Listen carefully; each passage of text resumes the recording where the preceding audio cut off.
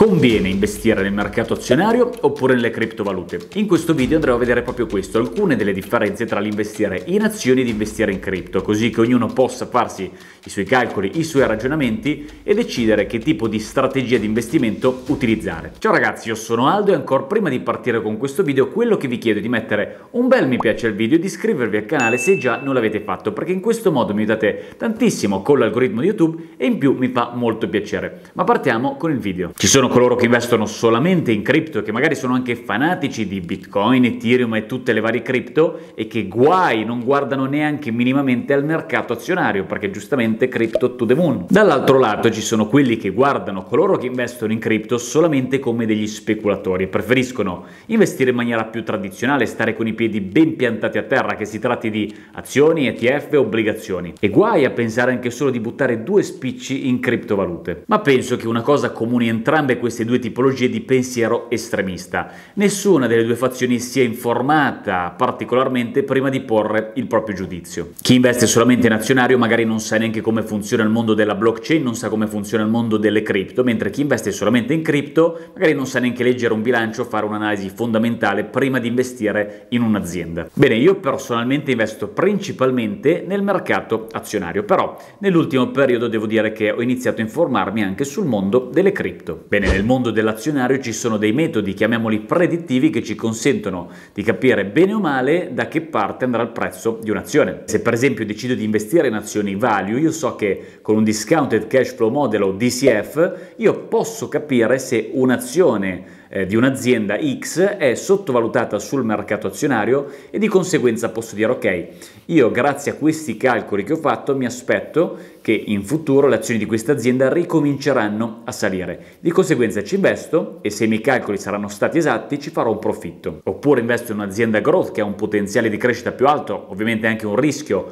più elevato, vado a calcolare il potenziale futuro di crescita, di fatturato, di profitto di quell'azienda, successivamente attendo di aprire una posizione quando si creerà un determinato margine di sicurezza e nel momento in cui quell'azienda dovesse effettivamente crescere potrei fare un bel ritorno sull'investimento. Però appunto come possiamo notare nel mondo dell'azionario i numeri fanno molto la differenza, quindi se vado a farmi determinati calcoli, utilizzo determinati strumenti, non dico che è certo che effettivamente andrò ad avere un ritorno sull'investimento, ma ci sono delle ottime probabilità. Le criptovalute non hanno questi metodi predittivi, chiamiamoli così, che si possono utilizzare nel mercato azionario. Il mercato delle cripto è molto più speculativo e basato completamente sulla domanda e sull'offerta. Ciò significa che tutte le monete digitali sono basate in una certa misura su ciò che uno è disposto a pagarle. Tuttavia, a causa della loro scarsità, molto interessante, sono soggette a dei potenziali guadagni molto molto più elevati rispetto alle azioni. Quindi sicuramente investire in cripto è molto più rischioso, ma ripeto, i potenziali profitti che un investitore in cripto può fare sono molto più elevati rispetto agli investimenti in azioni. Questo discorso interessante lo approfondiamo tra un attimo, però prima andiamo a vedere il discorso della regolamentazione. Infatti le azioni sono fortemente regolamentate, tant'è che la maggior parte di esse devono ricevere dei controlli annuali e senza passare questi controlli non potrebbero essere negoziate sul mercato. E proprio per via di tutti questi controlli che vengono effettuati viene meno il rischio di attività fraudolente. Poi in realtà ce ne sono anche sul mercato azionario, però ripeto viene meno. Le cripto invece in questo momento non sono regolamentate né dai governi né dalle banche centrali. E appunto una delle paure dei rischi in cui incorre chi investe in criptovalute è proprio questa incertezza rispetto alle regolamentazioni future dei governi e casi anche recenti come quello del governo indiano che ha deciso di bannare completamente Bitcoin dall'India fanno giustamente anche preoccupare molti possessori della criptovaluta. Quindi questo delle regolamentazioni è sicuramente anche un argomento da tenere bene in considerazione. Io personalmente penso che si arriverà a un dunque che sarà positivo per gli investitori in cripto, per il semplice motivo che ormai sono davvero tanti possessori di criptovalute. Abbiamo anche visto recentemente grandi banche d'affari come JP Morgan, come BlackRock, che hanno addirittura deciso di permettere ai propri clienti di investire una parte del loro portafoglio in Bitcoin. E quindi io penso alla fine che se anche ci dovessero essere delle regolamentazioni, non penso che andrebbero ad intaccare più di tanto i possessori di cripto. Ed un altro elemento da tenere bene in considerazione è la volatilità di queste diverse asset class. Gli investitori hanno prospettive diverse quando si tratta di investire. Ci sono coloro che sono pronti a prendersi dei rischi maggiori e prendere, acquistare dei titoli con maggior volatilità, mentre ci sono coloro che vogliono un portafoglio più stabile. In termini di stabilità non c'è assolutamente paragone, le azioni sono molto più stabili rispetto alle criptovalute che sono soggette a molta più volatilità.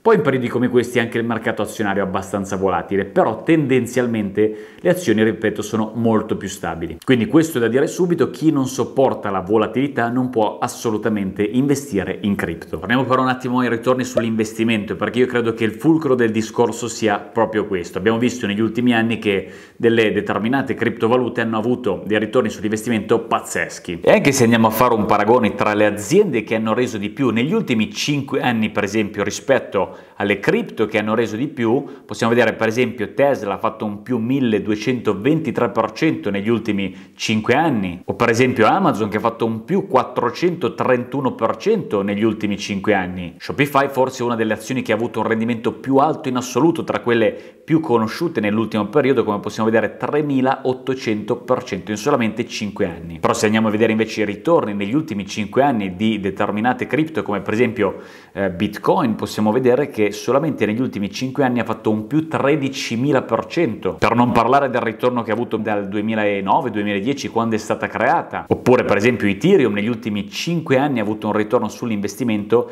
del 16.300%, quindi come possiamo notare dei ritorni su sull'investimento davvero pazzeschi. Ed in questo caso sono andato a prendere le due criptovalute più famose, ma se andiamo a scegliere anche altre criptovalute con una capitalizzazione di mercato più piccola, vedrete che i ritorni sull'investimento sono comunque esagerati. E quindi sì, sicuramente ci sono delle azioni che nel corso del tempo possono dare dei grandissimi ritorni sull'investimento che possono addirittura arricchirci, però ovviamente i rendimenti di determinate cripto sono di un'altra categoria. In conclusione, io personalmente investo principalmente nel mercato azionario. Ultimamente ho iniziato, come dicevo, ad approcciarmi un po' al mondo delle cripto.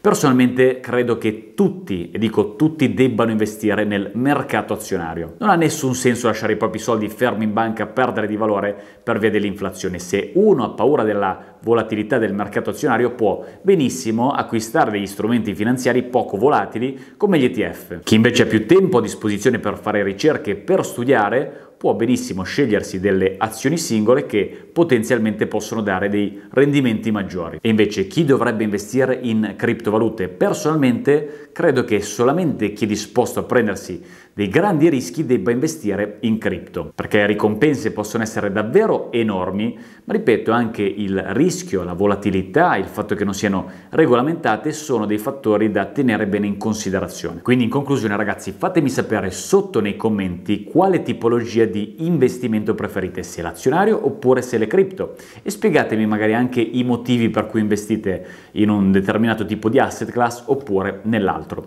Io come al solito spero che questo video vi sia piaciuto, per oggi è tutto, noi ci rivediamo nel prossimo.